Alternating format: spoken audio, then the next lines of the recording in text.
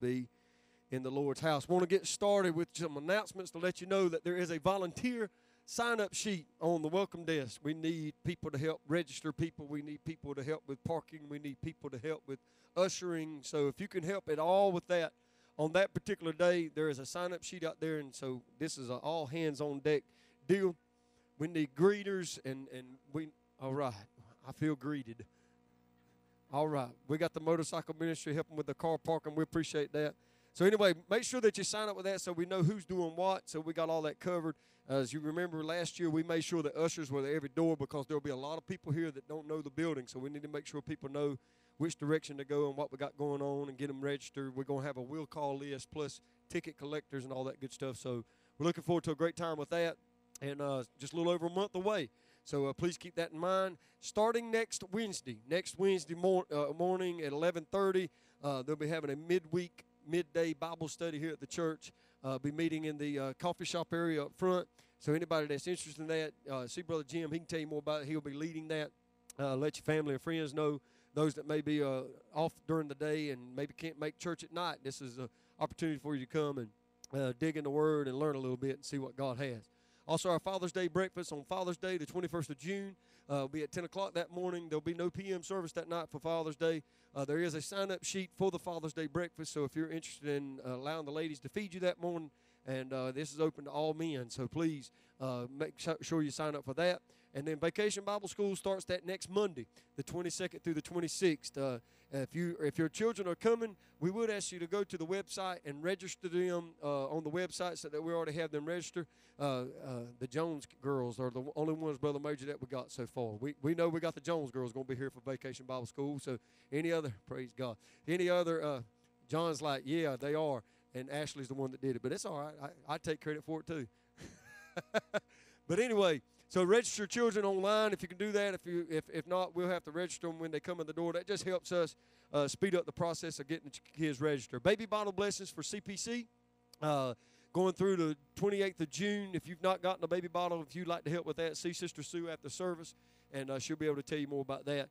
And uh, basically, you take that baby bottle and fill it up with change, and it helps uh, with the with some of the things that we got going on at CPC.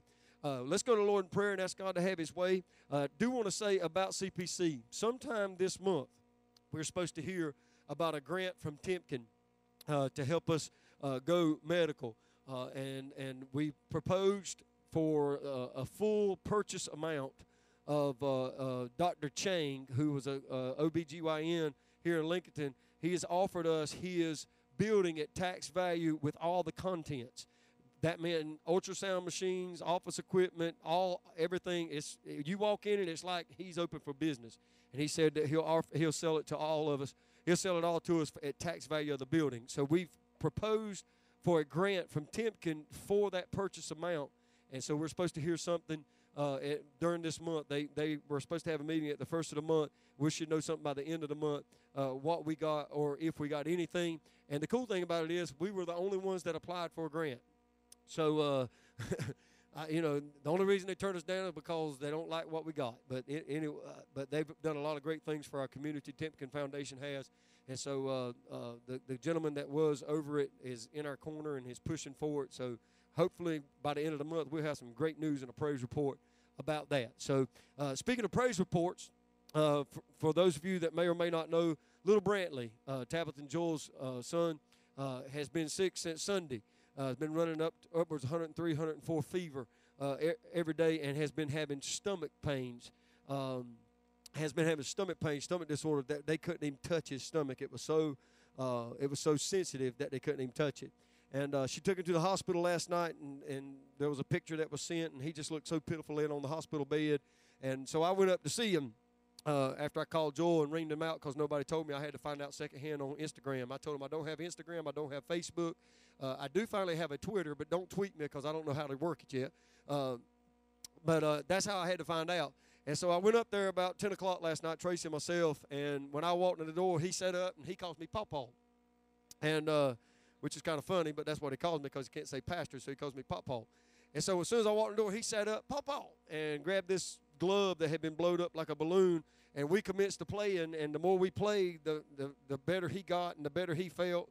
Fever broke, pains went away, and she says she's went all day long. No fever, no pain, just normal Brantley. So I thank God for that. And uh, we had prayer with her. I said, Can I pray for you? And he he heard me say pray, and next thing I know, he whacked me in the head and said, "In Jesus' name." I was, wait a minute, I want to pray for you. You not pray for me. That's that's his thing now. You go up to him, he's gonna Floyd Lahanya. He gonna hit you in the head and pray for you and say, "In Jesus' name." So. Uh, I thank God that He touched Brantley and ministered to him. And uh, uh, just as I was coming into church, uh, Tabitha sent me uh, uh, uh, the praise report over text. So continue to pray for them and minister, and God will just continue to touch them in a mighty way. Sheila Rutledge has hurt her knee, so please pray for her and uh, Terry Dornbush uh, is trying to quit smoking, so we're asking God to touch her and minister to her. Tiffany Osborne is continuing to recover from her surgery. We've got any update?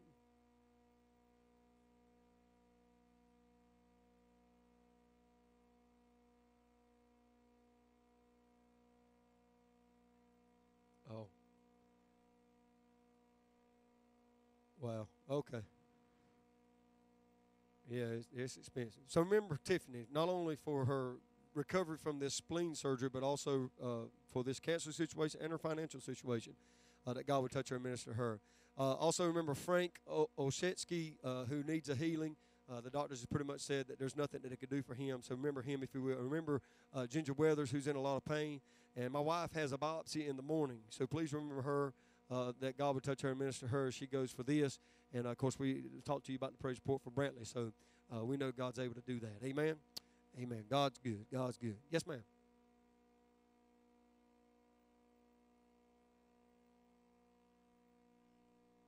Well, if you want fresh fresh vegetables, hey, now the gardens are gardens are coming in. So if you want any vegetables and you don't have a garden, there's some fresh ones out there. Help yourself to it. All right? Yes, sir.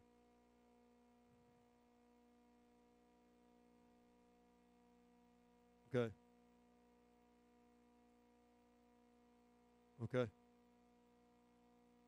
Steve Williams, Steve Gregory, colon cancer. Steve Gregory, colon cancer. I'm saying it a couple times so my wife can hear what I'm doing here. She'll put it on the list so we make sure we don't forget it. All right. Amen. God's good. Amen.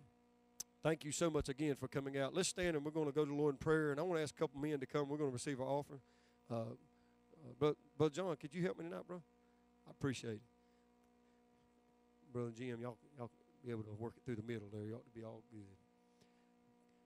I know God's God's able. Let's ask God to have His way as we receive our offering tonight and these requests and praise reports and just see what God has for us. Let's pray together. Father, we love you so much. Thank you for the opportunity that you've given us to come into your house, God, to receive from you and to receive from your word. God, I thank you for your blessing and all that you do for us. I pray, God, that you bless and move in every need. God, I want to thank you, first of all, how you touched Brantley, Lord. I, I just glorify your holy name, God. You you moved in a mighty way. And we bless your name for that tonight, God. You are worthy of all the praise and all the glory. God, I, I just watched that the doctor walked in baffled, saying last night there, there seems to be nothing wrong with him. And I, I'm just so thankful for what you have done and what you are doing and how you're demonstrating your power and your presence and your glory and all that you do for us, God. We just give you the praise, the glory, and the honor. And Father, I ask you tonight that you'd move in every other need and request, God, that you administer them. And just as you touched Brantley, God, you could touch these needs. Doctors are saying they don't know what to do in some of these situations, but God, we know that you are the great physician, and we lean upon you and we trust in you, God, that your divine will is going to be accomplished in every life of every need. Father, for these that have been mentioned and even these that may be unmentioned tonight, God, I pray that you administer in a mighty, mighty way. Father, we just thank you again for the opportunity to come come tonight to dig into your word and receive from you and hear what you have to say to us. Bless our youth that's in class tonight. God bless those that may be watching online. I pray, God, that you be glorified in all that's done and all that's said. Father, we just surrender it to you. And Father, bless this time of giving. Use it for the upbuilding of your kingdom. And for everything that's done and accomplished, Father, we'll be sure to give you the praise, the glory, and the honor for it all. And we ask these things in Jesus' name. And all of God's people said, Amen. Come on, let's worship and give Him. As they go by. You can be seated. If you grab your Bibles, and we're going to look at Ephesians chapter 4. Three verses of Scripture tonight Ephesians 4 4 through 6. Ephesians 4 4 through 6.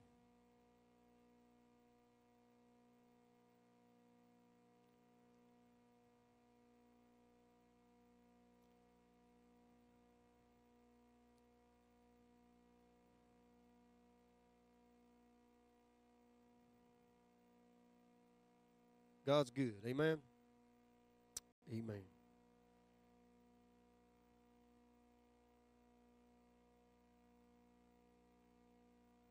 Anybody love the Lord? Anybody realize I'm stalling? It's because this little thing is not doing what it's supposed to do. There we go. Come on up. Come on up. God's good. All right. Ephesians 4 4 through 6. The Bible said there is one body and one spirit, just as you were called in one hope of your calling, one Lord, one faith, one baptism, one God and Father of all, who is above all and through all and in you all. So tonight I want to talk to you about the basis of unity. The basis of unity. Father, add your blessing to your word and bless your people, I pray in Jesus' name. And everybody said, Amen. All right, so here we go. We've been talking about unity. We've been talking about over the last few verses. We talked about walking worthy of our calling, what it is to walk worthy as an individual, what it is to walk worthy as a as a body, as a as a called minister of God. And we spent a few weeks talking about these first three verses of the particular uh, of the fourth uh, chapter, particularly. And we went through several different things about that those uh, different uh, three different verses there. So I want to get to the this fourth through the sixth verse tonight and look at the basis of unity. So Paul goes on to set down the basis on which Christian unity is founded, where it is founded, where it lies. Number one, in verse 4, he said, There is one body. One body. One body. The Bible said that Christ is the head and the church is the body. So listen, let's think about it from the perspective of a body, your body, my body, and look at it from that perspective. No brain can work through a body which is split into fragments. You cut your arm off and disconnect it from the opportunity for your brain to give it the signal that it needs to do what it needs to do. That brain, that, that arm will have no function. If your leg is severed, anything that is severed, a fragmented body that is severed away from the body that loses connection with the brain or connection with the head, it, it, it becomes null and void. It, it's, it's of no use. It's, it's, it's invalid, if you will. And so there is absolutely no way that a body can work if it is split into fragments. Unless there is a coordinated oneness in the body, the plans and and intentions of the head are very much frustrated. I don't know about you. As I get older, I begin to find that my brain's telling me that my body can do one thing, but my body's saying no. I, I, thought I'd get an amen right there. My, my brain is telling me I'm still in my 20s, but my body is letting me know very quickly no, son, you're in your 40s and you're pressing on. Amen. So, so, so the body and the brain have to work together, and they have to work together in a oneness. There has to be a oneness in order for the body to work. In other words, if the body is trying to do one thing and the head is trying to do another, it brings frustration. So the oneness of the church is essential for the work of Christ. If Christ is the head and he's the brain of the whole operation, then the body has to come into a coordinated oneness with him in order to understand what the purpose is so that we can come together in unity unity, operating under His headship, His lordship, to be everything that God has called us to be. And so there has to be this oneness of the church in order for the work of Christ to go forward. That does not need to be a mechanical oneness of administration or of human organization. In other words, we don't have to administrate it, we don't have to organize it, we don't have to, we don't have to necessarily sit down and make it uh, according to what we want it to be in order to get that oneness. It must be have it must be spread by the Spirit of God and by the love of Christ. So it does not need to be that oneness that is just founded on a common love of Christ and of every other part of the for the other. It does, it, it does not have to be administrated. It does not have to be humanly organized. It has to be totally reliant on the words of Christ and the works of Christ and what Christ is called to do. And so he says that there's going to be a foundation for unity. You must first understand that there is one body. There's not a Church of God body. There's not a Baptist body. There's not an Episcopalian body. There's not a Presbyterian body body. There is one body of Christ. All those who are saved and separated by the blood of Jesus Christ, and their and their blood and their and their sins have been washed, and they've been made whole and new because of what Christ has done. They are effectively and efficiently a part of the body of Christ. We need to begin to understand if the body of Christ, if it's ever going to come together in the way that Jesus determined that we should come together, that we would be one as He and the Father are one, we have got to set aside these titles. We got to set aside these tags. We got to set aside these, these labels that we put on one another. Listen, I want people to know, first and foremost, that I am a follower of Jesus Christ. Not that I'm an ordained bishop of the Church of God, not that I'm a Church of God member, not, not that I'm a, affiliated with a certain organization, not, not, not even that I've labeled myself as Pentecostal. I want people to know that I am a follower of the Lord Jesus Christ, that I am a disciple of His, that I am obedient not only to His command, but to His word and what He has called me to do. That's what the world needs to see from the body of Christ. I'm not Episcopalian, I'm not Presbyterian, I'm not Church of God, I'm not Church of Christ, I'm not any of these labels, but I am one with Jesus Christ, and it doesn't matter what a brother looks like. He can have dark skin, light skin, he can be red head, brown head, blonde. I don't care. We can come together because of the blood of Jesus Christ, because I have come together under the us under the umbrella of the body, one body in Jesus Christ. This is the only place that you can find the, the workings and the and the effectiveness of the church to be what God has called it to be. So he said there is one body. There's also one spirit. One spirit. The word pneuma in Greek means both spirit and breath. It is, in fact, the usual word for breath. Unless the breath is in the body, the body is dead. But there's only one spirit, there's only one life giver, one breath. Unless the breath is in the body, the body is dead. And the life giving breath of the body of the church is the Spirit of Christ. It's His Spirit, it's the Holy Ghost. There can be no church without the Spirit, there can be no receiving of the Spirit without prayerful waiting. If you want the one body to operate with the one spirit, there has to be a connection, and the connection comes through prayerful tarrying. Jesus told his disciples, Listen, I want to endue you with power. I want to fill you with the Spirit of God. I want to fill you with, with the Holy Ghost. I want to do this. But you've got to tarry in the city of Jerusalem until you be endued with this power. There has to be a prayerful tarrying that takes place in the body of Christ to get the one Spirit moving. It is amazing to me how today in modern with modern technology with, with all the broadcasting and all the things going on it is amazing to me how many different things one spirit is saying. It is absolutely amazing to me how one spirit can have so many different opinions. Or you see where I'm going at? You know, you, you can listen to this broadcast and the Spirit of God is saying this. And you can listen to see, see this Facebook post and the Spirit of God is saying this. And you can see this Instagram post and the Spirit of God is saying this. You can listen to this radio program and the Spirit of God is saying this. And they're totally polar opposite of one another. And you're saying, wait a minute. Who is actually listening to the one spirit that should be operating in the one body? You know, I, I, I see a lot of times self promotion taking place under the guise of the move of the Spirit. I see a lot of times of, of self promotion and, and even, even man made theology and man made ways being promoted under the guise of the Spirit of God. I see a lot of emotional hype promoted under the guise of the Spirit of God. See, there's only one Spirit, one Spirit in one body. And in order for that body to be everything that it needs to be, it must have the breath of God blowing and moving and operating so that that body can have life. Can I tell you, we could go through the motions here at Daystar and we could come together and we could operate and we can function and we can do all the things that we do to look like a church and act like a church and smell like a church. But I want to tell you something. I know the old adage is if it walks like a duck, sounds like a duck, talks like a duck, then it's got to be a duck. Just because it looks like, acts like, smells like, talks like a church doesn't mean it's the church, doesn't mean it's the one body. Because if you don't have the Spirit of God, if you don't have the moving of the presence of God in operation in the body, then that body is nothing more than a gathering place, nothing more than a club. I don't want to be a club. I want to be a moving, living, breathing entity that is moved upon by the Spirit of the Holy Ghost, that God would manifest His presence and His power. I don't want to be known as the club of Daystar. I want to be known as the body of Christ operating under the fullness of the power of God. You got to have that breath. You got to have that moving. Dead bones in a valley would just be dead bones except the wind blew.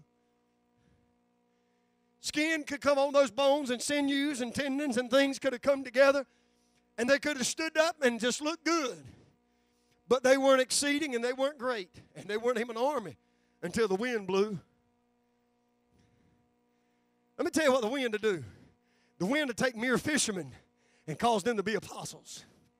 The wind, the wind, oh man. The wind, the wind of God can blow. The, the, the Hebrew word is ruach, the, the wind of God. It can blow, and, and, and, it can blow upon people who seem to be dead and bring them life again. It, it can blow on people that, that seem to be down and out and depressed and give them hope and joy again. The wind, the wind, the wind can blow on people and make such an impacting difference on their life. I'm telling you, the wind of God can blow and cause sickness to be dispelled, can cause cancer to fall off. The wind of God, let the wind of God blow, and the church would come alive again. We need the wind. We need the wind. We need the Spirit of God. We need His presence. We need His power. We need the breath of Almighty God once again. I don't want Joe Blow's wind. I don't want this, this guy's wind. I want the wind and the breath of Almighty God to blow again. Oh my, the breath. The breath. We need the breath, and the breath comes when we prayerfully tarry. You know, we have become so busy so preoccupied with what we think to be life. While real life is just saying, I'm here. I'm the way, I'm the truth, I am life. If you'll come to me, I'll give you rest. If you come to me, I'll give you peace. If you come to me, I'll give you joy. If you come to me, I'll give you breath to breathe and life to live, and I'll give you abundant life if you'll just come to me. But we get so preoccupied. And then we wonder why God doesn't move in our little 30 minute get together on Sunday. We wonder why we don't feel God, and we wonder why we don't feel His presence when we go to spend our five minutes and go through our little ritual saying we did our prayer time on a, on a Monday or on a Wednesday or Tuesday, whatever. You know, all of a sudden we're sitting there and we're, we're saying, God, you feel so far away. Why? Why is it? God's not looking to be squeezed into your life. God's saying, listen, there's only one way, there's only one hope, there's only one calling, there's only one purpose, and it comes through being in one body with one spirit moving through you. It would be amazing to me if the body of Christ could ever really get together and understand the, the principle of one body and one spirit. And if we could all begin to operate in that way, oh, what changes we'd see in this world. You know, wouldn't it be something if everybody within the within the body of Christ that claims to be a part of the body of Christ. We get under this one spirit, and yet listen to the, ah, you know, I think about this. I think about in the book of Acts where, where, where, where some of the early disciples were standing before the Sanhedrin, and, and, and the statement was made, Are not these the men that have turned the world upside down? I mean, just think about it the multitudes of people that we got that claim to be a part of the body of Christ. If they could get this one body, one mind, one spirit kind of attitude, and we could say, you know what, let's just tear the signs down and just let people know we're the body of Christ. Let's just take the names off the marquee and put the name of Jesus out there. Let's get worried about what people say or people think and just do the works of God. Couldn't we be a people that could again, once again, turn the world upside down if we could get the Spirit of God moving in the body of Christ and be what God, I'm telling you, we could do it again friend. Presidents would talk about us, governors would talk about us, foreign leaders would say, Listen, I don't know who these people are, but they move with such power and authority. They seem to be ignorant and unlearned people, but there's a power about them. That's what they said about the first church. How's it these unlearned and ignorant men seem to be speaking with such authority? You know, one of the greatest denials was the denial of Christ by Peter. And yet, even standing by the fire, people said, I perceive that you've been with him. whew, wouldn't it be nice if people would perceive that we've been with him? That his spirit, his breath is in us. We live and move, and in him we have our being. So there's one body. There's one spirit. I, am trying my best to get through three verses tonight, but I'm telling you, I feel the presence of God in this house tonight. There can be no church without the spirit. And there can be no spirit without the receiving of with prayerful waiting, prayerful tarrying. So he said there's one body, there's one spirit, just as you were called in one hope. There's one hope in your calling. You see, when you come together in one body and you're being motivated by one spirit and you're being moved upon and empowered by one spirit, then we've all got the same hope. In other words, I've got the same end in mind you've got in mind. Amen. That's good, preacher. I'm not just going through this thing to try to try to get what I want. I'm trying to go after what he wants. And that's my hope. It's the hope of my calling. It's the hope of my purpose. It's the hope of my destiny. It's the reason why I live, I breathe. It's the reason why I exist. I'm here for one reason and one reason alone, and that's to fulfill the prophetic call on my life to be everything He's called me to be. And in order to do that, I've got to have hope at the end of this stuff. And there's only one hope. It's not a hope of bigger bank account, a nicer car. Listen, it, it, those are self motivated hopes. Those, those are not even true hopes. But the hope that at the end of this thing, when everything seems to be ready to be wrapped up, and I've got the hope of hanging in there, if I hang in one body with one spirit, the hope, the singular hope that I've got is that I stand before Him and He says, Well done. That's the hope I got. That's the hope I'm longing for, is that one day I'll hear Him say, well done. We're all proceeding towards the same goal. This is the great secret of the unity of Christians. As Christians, we're all trying to get to a better place. And along the way, we're letting people understand the reasoning behind our journey. We're letting them know about this man Christ that can save from a multitude of sins, a blood that can wash you and make you new, that can release you and give you freedom and liberty. This is the hope of our calling. This is the method of our madness, if you will. This is the thing that unifies us. Our methods, our organization, even some of our beliefs may be different. There's some people that don't believe the way I believe. There's people that sit in this congregation don't believe the way I believe. But yet we don't allow that to stop us from walking together in unity. You know, it's not about method, it's not about organization, it's not about beliefs. Listen, we're all striving towards the one goal of a world that is redeemed in Christ. You know, I, I got I got pastor friends who argue with me about evidence, initial evidence. I got people that will dispute with me and talk me, but listen, are, are we trying to see people get saved? I got pastor friends that argue with me about tithing. We, we have discussions about it. But the bottom line is, are we trying to see people get saved? You know, there, there's some there's some some some things that I adhere to and hold to, and some of my friends don't, but I don't allow that to get between me and them. I don't look at them as a heretic or anything. I say, listen, are you preaching Christ? Are you preaching Him crucified? You know, I don't want to have the mindset of, uh, of James and John who told Jesus, this guy over here, he's, he's not with us. He, he, he's out doing his own thing. Jesus said, let him alone. If the gospel's being preached, if the gospel going it's, it's well, it's all right. Listen, I've got a promise in the book that God's word will go forth and not return void, but when it goes forth, it will serve the purpose whereunto it was sent. That means if God wants to raise up a Catholic priest and him preach Jesus Christ and him crucified and the, and the gospel message gets out there, I believe that people can be saved under a Catholic priest ministering the gospel message and they can come to know Jesus Christ as their Savior. Now, now, now, some of you might say, well, I just don't believe that. But listen, God can use who He wants to use. Woo. I think some of you pondered, wait a minute, this don't sound right. Pentecostal preacher talking about Pentecost. There's something wrong with this. There's a hope in my calling that at the end we can stand before Him and Him declare, well done. It's not about labels. It's not about tags. It's not about uh, what I identify with or what persuasion I am. I've got one persuasion. That's Him. He's the persuader.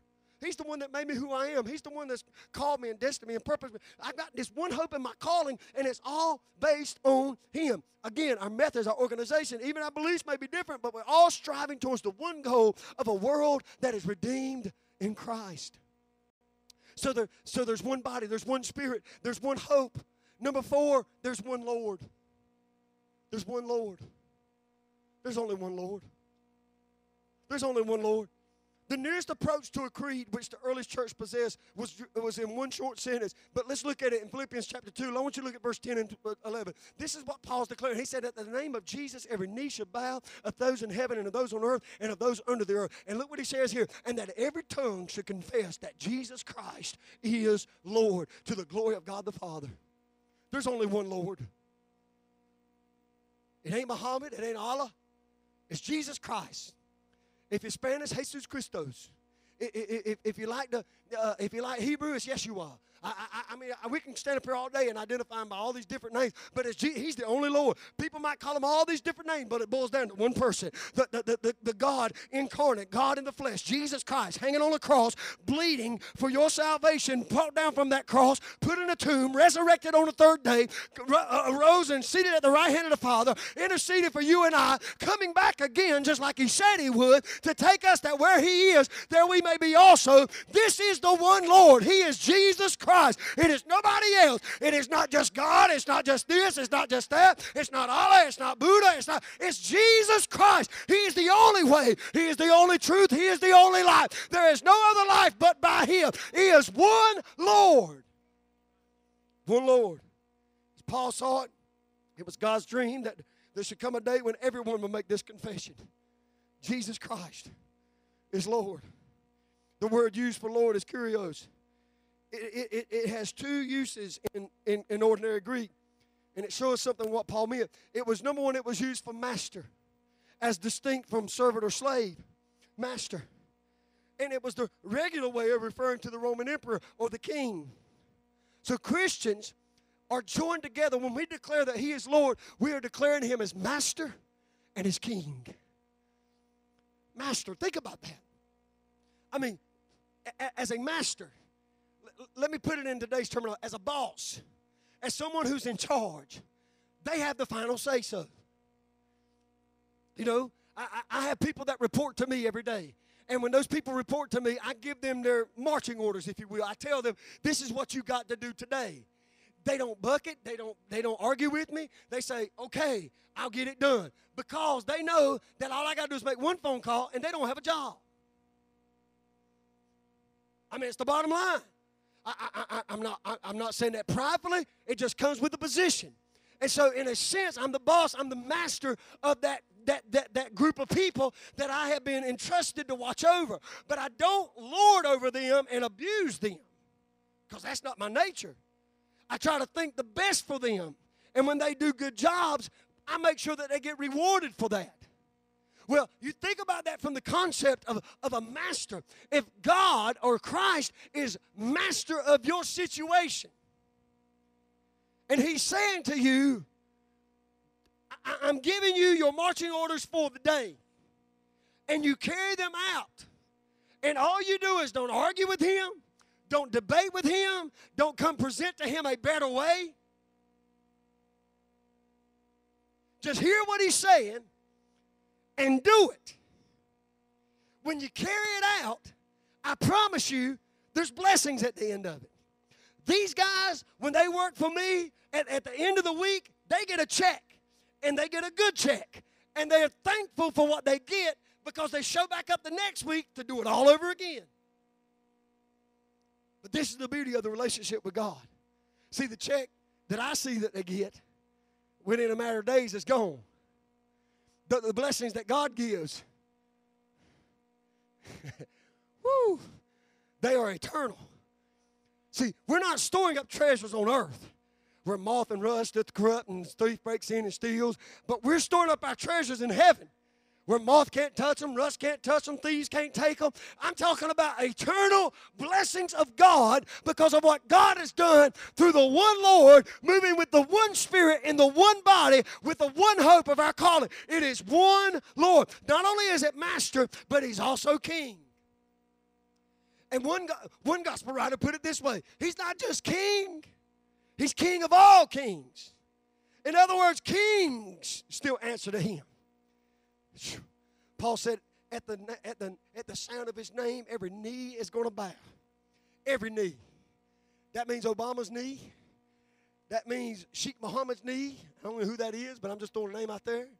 That means that means every every uh, Iranian and Israeli and, and, uh, and Iraqi and Saudi Arabian and uh, I don't care how much oil or how much wealth they got. Their knees going to bow one day and they are going to confess that Jesus Christ is Lord. Now they might have proclaimed a lot of other kings, they might have proclaimed a lot of other masters, but there's going to come a day ultimately that at the final say so, every knee is going to bow and they're going to herald Jesus Christ as Lord. Now, I want you to understand something. What I want to happen for me, now you can speak for yourself, but what I want to have happen for me is that I want to practice now and know that I am in good standing so that when I get before Him on that day, it's not going to be a chore, it's not going to be an embarrassment, it's not going to be something I'm going to regret, but it's going to be a joy to cast my crown at His feet and declare Jesus Christ is Lord. He is King and He's King of all kings. He is Lord and He's Lord of all lords. I am looking forward to that day, not with embarrassment, not with indignation, but because I've fallen in love with Him and obedient to His command, I'll get to one day take the crown of glory and cast it at His feet and declare Him once and for all Jesus Christ is Lord. This is the beauty is that it's not master slave relationship. It's not master slave relationship. And I'm going to get ahead of myself. We'll get to that in just a moment. But, but, but, but it's king. It's master, it's king. So Christians are joined together because they are all in the possession and in the service of one master, one king. Again, I want to remind you tonight, I'm talking to you about the basis of unity. If we can come together with these three verses and we can pull it together and say, listen, there's one, one body, there's one spirit, there's one hope, there's one Lord. And he goes on to say, there's one faith. One faith. Listen, I want you to understand something. Paul is not using a word here for creed. You know, have you ever been asked, What faith are you? They're asking you what creed you are, or what persuasion you are, or what do you believe. But Paul's not talking about a creed. The word that he's using here, faith, very seldom indeed in the New Testament does the word faith mean creed. By faith, the New Testament nearly always means a complete commitment of Christians to Christ when I walk in faith and not by sight, when I walk in faith, I'm walking in total surrender, total commitment to the Lord Jesus Christ. Faith is the substance of things hoped for, the evidence of things. It means I'm walking in surrender. I, I, don't know what's coming. I don't know how it's coming. I, I, I can't even feel it. it's not tangible, but I believe it because He said it. That's faith. It's the evidence of things not seen, the substance of things hoped for. It's saying, listen, my, my, my walk of faith is not based upon uh, something that's in a book somewhere. It's not in some theological book that some doctor put together. It's not in some. My faith is simply resting on the fact that Jesus said it, and that's good enough for me. Jesus declared it, and that's what I'm going to live. Jesus put it forth, and I'm going to walk that out loud. I am totally and totally committed to the things of Jesus Christ. Paul means that all Christians are bound together because they have made a common act of complete surrender to the love of Jesus Christ. They may describe that er, act of surrender in different terms, but however they described it, that surrender is the one thing that is common to all of them. I mean, you might say, Praise God, I'm saved and Jesus washed me and I've been made clean. Or you might be like the old folk, I'm saved and sanctified. Or you might go a little bit old school, I'm saved, sanctified, and filled with the Holy Ghost. And then you might go a little bit old school, I'm saved, sanctified, filled with the Holy Ghost, and fire. But the bottom line is none of that means anything if you don't know Him. It's one faith. It's one surrender. I'm not surrendering to a denominational teaching, I'm surrendering to Him. Let me tell you something denominational teaching is secondary to the words of Christ. Do you hear me? I, I, I, mean, it is secondary to the words of Christ.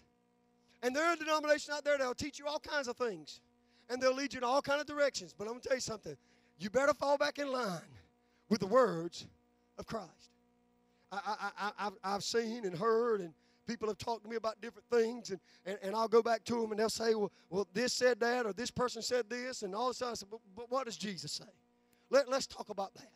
You know, I, have had people sit down with me and start arguing about theological things, and, and all of a sudden they say, well, well, this preacher said this or this prophet said that. And I said, let's look at what Jesus said. I've even had to look at it and said, well, let's look at it this way. The prophet said this. Let's look at it this way. The preacher said this. Let's look at it. And I finally got tired of it in one conversation. I said, let's look at it this way. There's a way that seemeth right to man, but the end thereof are the ways of death. How about that way? You can you can try to parse it, you can try to figure it out, you can try to lock it down, but ultimately you're going to stand before God and you're going to give an account by what faith you live. If you live completely and totally surrendered to Christ, that's what it boils down to. I don't, I don't care if you color it this way, paint it that way. Do listen. When you get to the root of it, if it is not founded on the Lord Jesus Christ, you shouldn't have anything to do with it. Okay, y'all are with me tonight. Glory to God. So, so, so, so the, the common theme of it all is complete surrender, faith. No, number six, one baptism. One baptism. In the early church, baptism was usually adult baptism because men and women, they were coming directly in from the worship of other gods into the Christian faith. And so, above all, baptism was a public confession of faith. And we, we baptize folks here. It is a public confession to say, listen, there's only one way for, for, for a Roman soldier to join the army. He had to take an oath that he would be true forever to his emperor.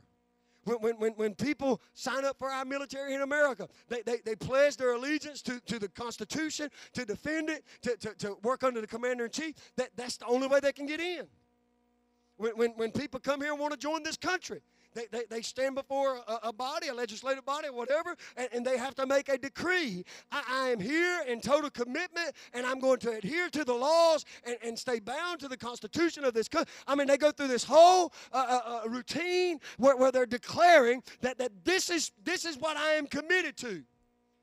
Baptism is not just you getting wet, it is a public statement that I am identifying with the death and the burial and the resurrection of Jesus Christ, and I am committing myself totally surrendered to His purpose and to His call. And I'm letting all those that are in attendance, and I'm allowing anybody else that would ask me, what baptism? There is one baptism. It is an identifying with the Lord Jesus Christ you know, as it comes to baptism, some of you may feel one way or another. You know, I've had people tell me, you know, you need to baptize in the name of Jesus only, or you, you need to use the, you know, the, the one that Jesus talked about at the end of Matthew, you know, in the name of the Father, Son, and the Holy Ghost. You know, listen, I, I, the bottom line is not what some preacher says standing outside the baptismal pool.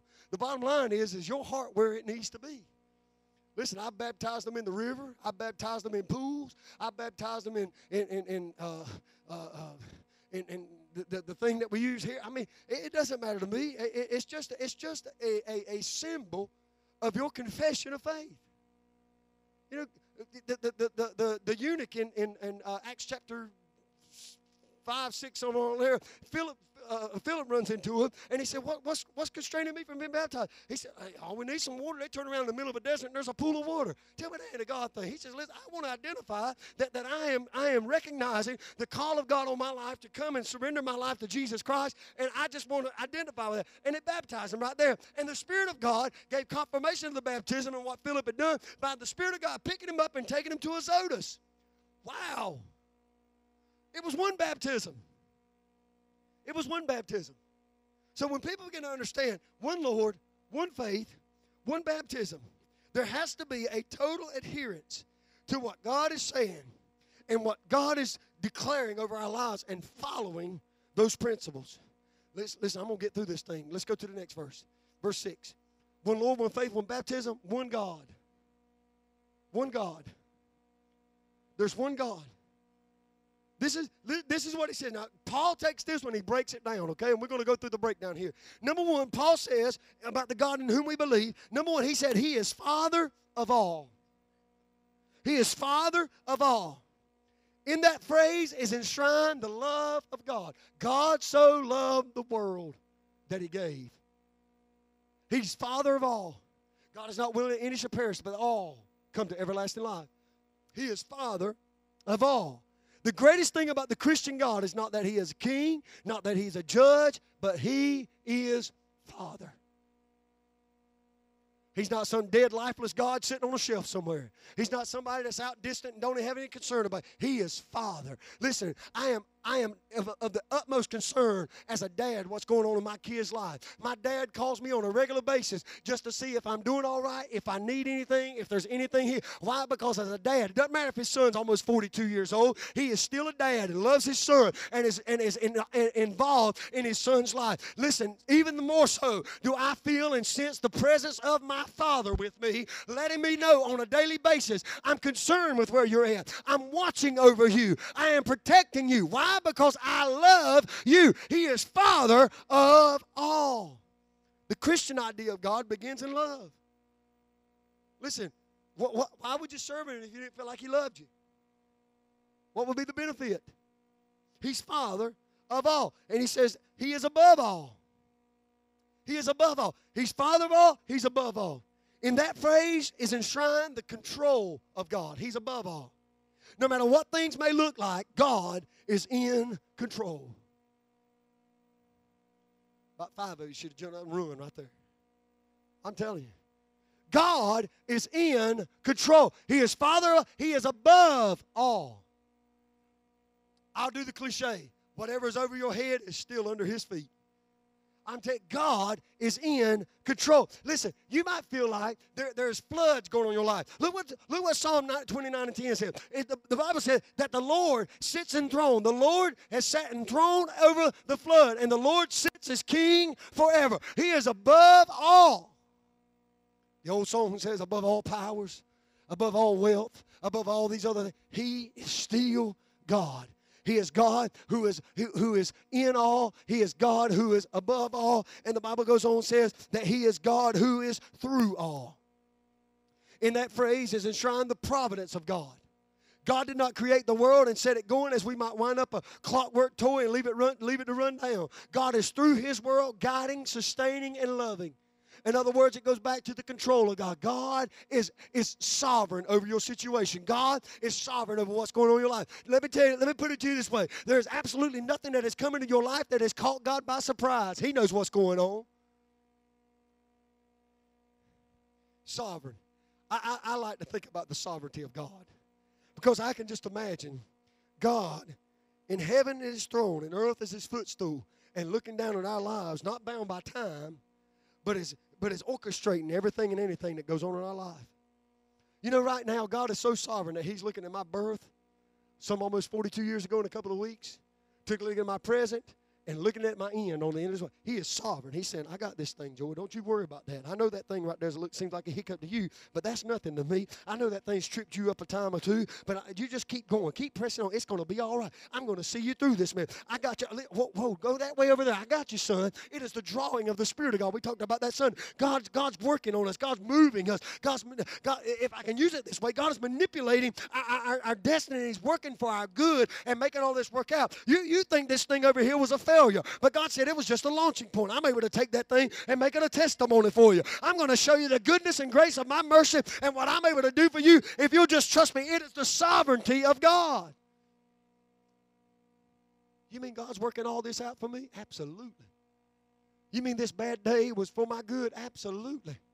You mean this shortcoming was for me? Yes, it was. God's working on it. Don't you think God said, oh, I didn't see that coming? Yes, He absolutely saw it coming. God didn't walk around the corner and get surprised. He's already seeing around the corner before he gets to the corner. Matter of fact, he was looking at the corner before the corner was created. Woo, my Lord. God's already working on it. and he's working it for your good. He's going God and Father of all, who is above all and through all. And the final one is He is in all. In that, in that phrase is enshrined the presence of God in every life.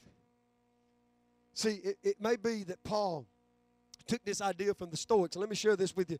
The Stoics believed that God was a fire, purer than any earthly fire. And they believed that what gave human beings life was that a spark of that fire, which was, which was God, came and dwelt in their bodies. That's the way the Stoics believed. So it was Paul's belief that in everything, God. The Bible says, in the beginning, God. He created the heavens and the earth God. God was involved. God was involved in every aspect. Come and let us make man in our image. Let us create man. Let us, let's, let us form these things. Let us speak and there's light. Let us speak in the heavens and the firmament separate. Let us speak, speak in the, and the waters and the land separate. Let us speak and those waters be filled with fish and the air be filled with birds. Let us speak and all these creeping things begin. Let us speak, let us speak and all of a sudden these animals will come. Let us speak. Let us come down now. Let us go down and make and create man in our own image. Let me take this dirt ball here and form it up and work on it. And now let me breathe the breath of life. Because if this body's going to function, it's got to have breath. I'm going to breathe the breath of life. And God said, I am putting me in you. You are a place of habitation for the presence of God. As that song says, Lord, prepare me to be a sanctuary. Why? Because God wants to be in you. And there should be a desire in every one of you to say, God, be in me. God, be in me. I talked to God today. I came over today and got by myself and prayed a little while. I said, Lord, all I want is you. I don't want anything else. I just want you. I don't need anything. I just need you. And God, I know there's things in my life that probably not pleasing you. And God, I want you to, I want you to take your spirit. I want you just to mortify those things in my life so that more of you can come in. I, I want to make room for more of Him. I want to get stuff out. I want to uh, liquidate stuff out. Of, I want to. I want to obliterate stuff out of my life so that I can say to God, "Come on in. There's room for more." Because I want more of Him. Because His desire is not just to be God who is of all, or above all, or through all. He wants to be in you all. The old hymn said, "He abides. He abides. Hallelujah. He abides within me." I'm rejoicing night and day as I walk the narrow way, for the Comforter abides in me. Boy, I'm so thankful He abides. I'm so thankful that He's here. I'm so thankful that He's near. And I'm so thankful that He's within me and within you tonight. Aren't you thankful for that tonight? Listen, what, what everything that I've talked about is the Paul's belief that everything in everything there is God. It is the Christian belief that we live in a God created, God controlled, God sustained, God filled world. Don't, don't allow the fear of the presence of evil to cause you to fear the lack of the presence of God. God is still at work. For where sin abounds, grace doth much more abound. And boy, do we have sin abounding. But grace is still at work. There's still a hope. The sinfulness of the world is not the end of all things. He has the final say so. And the sinful in this world, if they will turn to Him, if they can see a church, if they can see a body operating in one faith, one baptism, one hope, one breath, one spirit, one God, one Father of all, in all, through all, above all, in. Uh, listen, that's what he, they need to see. And then they can begin to see the, the basis, the foundation of our unity that we lock together. Now, I could have I could have gone 10,000 different ways with this tonight. But I'll tell you something. The church is at its most effective place when the church stands together. You, you, you try to be a solo artist, there's only so much you can do. But there is exponential growth when the body of Christ comes together. One can put a thousand, two could put ten thousand. Well, preacher, that, that, that, that don't make sense in math. Yes, it does if you understand exponents. God doesn't, God doesn't add, He multiplies. Come on now. God multiplies. And He does it exponentially. You know, you give one, He gives a hundred. He works exponentially. You know, you, you, you give what little you got, and God says, I can bless you. And, and I'm not talking about money giving. That's just a small part of it. I'm talking about giving of yourselves and say, God, all that I am and all that I ever be, I give myself to you. I live in total surrender. And I'm asking you to be the Lord of my life. Now, I, am going to close with this and we're going to pray. We're going to pray. But this is what I want us to pray. And I'm not, I, I don't care. Right now, I really don't care where you think you stand or what position you think you hold or where you feel like you are spiritually. You might feel like you're on the mountaintop and everybody's uh, you know, all your sins are washed and you're just the best thing God ever created. You might feel that way. Set that pride aside right now because you got something to talk about. Amen. Right now in this moment, I want us just to take a moment right where you're at, or if you want to come kneel, that's fine too. But right where you're at, I just want you to say, God, if this body cannot operate in the way it needs to, if it is fragmented from the head, and the world is doing its best to try to cut off my connection. I'm talking about you as an individual.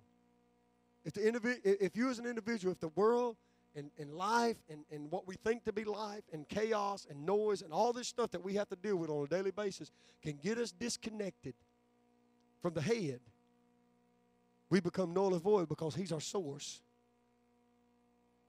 And if we can ever get connected with him as individuals, watch out, world, because when we come together corporately and we're all connected with him, it is a power that is greater than any atomic or nuclear bomb this world could ever produce.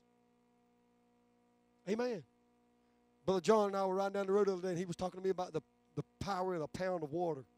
He was talking about how that, that water can produce so much energy, just a pound of water. And I think you told me a gallon was eight point something pounds, a gallon of water was. So you think about, you take the eight, uh, uh eighth part of a, a, gallon of water, and, and that pound of water can, can, can cause such a, a, a an atomic blast it, it, that, it could blow a hole in the wall. I mean, it, it, it could destroy things. It's like a pound of dynamite, a gallon, of, uh, an eighth of a gallon of water. You think about that for a moment. And, and yet, God has put something so powerful in you and wants to abide within you in such power. When the body of Christ can come together, it would be greater than any force this world, by its man made means, could ever produce. That it could ever produce. And God is saying, if you'll just come together, this world will see a movement like it's never seen before. Now, to tie all this together, there is a move of God that's coming in this last day. There is an outpouring that's going to transpire, going to take place. And there is a remnant of people that are beyond titles and beyond labels and beyond identification with this, that. They are just identified with one thing I am Christ. He is and His alone. And the move of God's presence is going to transpire. The Bible said that all that call upon the name of the Lord in that last day shall be saved. It's coming. It's been prophesied. Spoken by prophet Joel. It was spoken and reiterated by the prophet uh, uh, uh, Peter as an apostle. God, God's going to fulfill that word. All that call upon the name of the Lord shall be saved. I want to be a part of that powerful move of God, don't you? I, I don't want it to be, listen, Azusa is history. And that's all you see about Azusa is in history books. Cane Ridge, Kentucky is in history books. I, I, the, the, the, the, the Shearer Schoolhouse is in the history books. And, I, and we can go through and talk about all these, the Welsh Revival, Jonathan Edwards, all these, all these guys. We could talk about all their but they're in the history books. But there is coming a sustaining move of God as prophesied in the Word of God that's going to sweep the world in the last day according to the Word of God, in the last day, there is a sustainable move of God that's going to bring the fulfillment of the return of Christ to call his children home. Amen. And that's the part of the movement I want to be a part of. Amen. That's the part. But I got to know that I am connected not only with him, but I am connected into the body of Christ because I can do nothing in and of myself. That's the kind of unity God's looking for. That's the kind of surrender, commitment that God's looking for from you and me. So tonight, I want us to pray for just a moment. Tracy, if you want to play us something soft, that'd be fine. I want us to take a moment. I want us to go to a place of total surrender and tell God, Lord, I don't I, I'm not arguing about what I did from this point back, but from this point forward, I want you to be master. I want you to be king. I want you to be sovereign over me. I want to understand one Lord, one faith, one baptism. I want to understand one hope, one, one body, one spirit. I want to understand that you are one God, Father, in all, of all, through all, by all, whatever alls you want to put in there. I want God to be that in your life, yours and mine. Amen. Amen. Can we find a place of prayer? If it's your seat, the altar, I don't care. And just surrender, leave in total surrender to God tonight.